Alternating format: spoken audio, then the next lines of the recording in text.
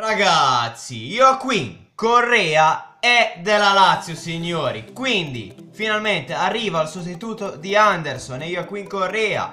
E ex eh, Sampdoria, ragazzi ce lo ricordiamo nella Sampdoria, ce lo ricordiamo soprattutto per quel gol sbagliato a porta vuota contro l'Inter, ragazzi, clamoroso.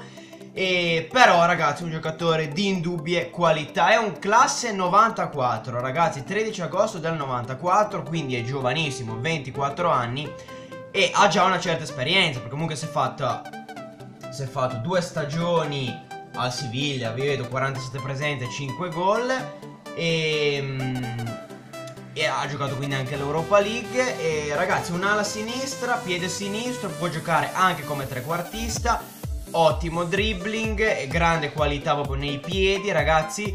Ovviamente un giocatore un po' diverso da Felipe Anderson. Felipe Anderson diciamo più bravo nel dribbling, più veloce e più anche senso del gol. Forse io che in Corea non è uno che segna tanto ragazzi Secondo me è un ottimo acquisto e degno sostituto di Felipe Anderson secondo me può portare più continuità.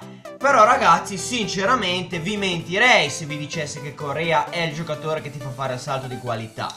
Sinceramente è un giocatore buono Che ci sta, l'abbiamo pagato intorno a una cifra 25 milioni 4 di prestito generoso più circa 22 di riscatto E ehm, però è un giocatore che dà qualcosa in più Ma secondo me non è il giocatore che ti fa fare il salto di qualità Cioè io do via Felipe Anderson. Entra Correa. Vi dico la verità Secondo me ci guadagniamo per la continuità.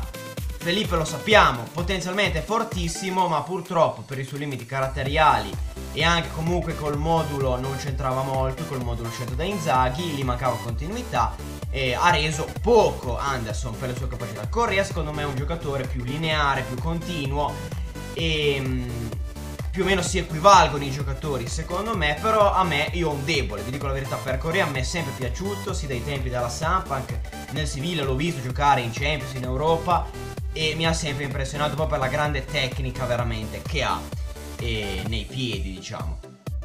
E quindi boh ragazzi speriamo faccia bene. E allora io non so se questo arrivo di Corea esclude l'arrivo del Papu Gomez non lo so non lo so se lo esclude io forse avrei preferito prendere Gomez sì è vero Corea ha 6 anni in meno di Gomez ok è vero però Gomez, secondo me, se tu vuoi andare in Champions il prossimo anno, Gomez è un giocatore forse più pronto, forse più decisivo, se devo pensare, diciamo, al presente o comunque al futuro prossimo. In prospettiva, Correa magari adesso fa due stagioni grandissime poi lo puoi valorizzare o comunque lo puoi anche vendere a 50 milioni. Dico così, o comunque può crescere e migliorare nella Lazio. Io lo spero.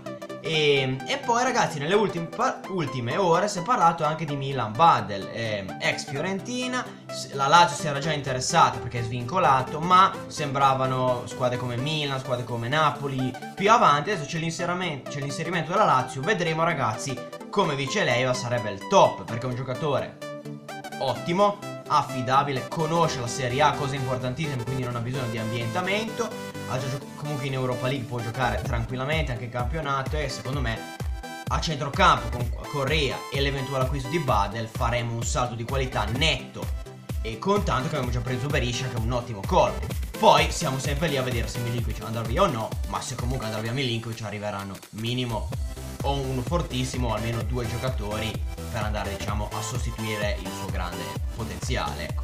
Signori io spero appunto che apprezziate il video e mm, apprezzate appunto l'acquisto di Corea fatemi sapere eh, tutto nei, nei, commenti. Seguitemi su Instagram il link è sempre qui sotto nelle nel, nella descrizione. Signori devo salutare Matteo Monteani. Ciao Tommaso Arcuri, ciao, e Alessio Martinelli e anche mi viene in mente adesso non l'ho segnato, devo salutare Alessandro. Ciao ragazzi, bella!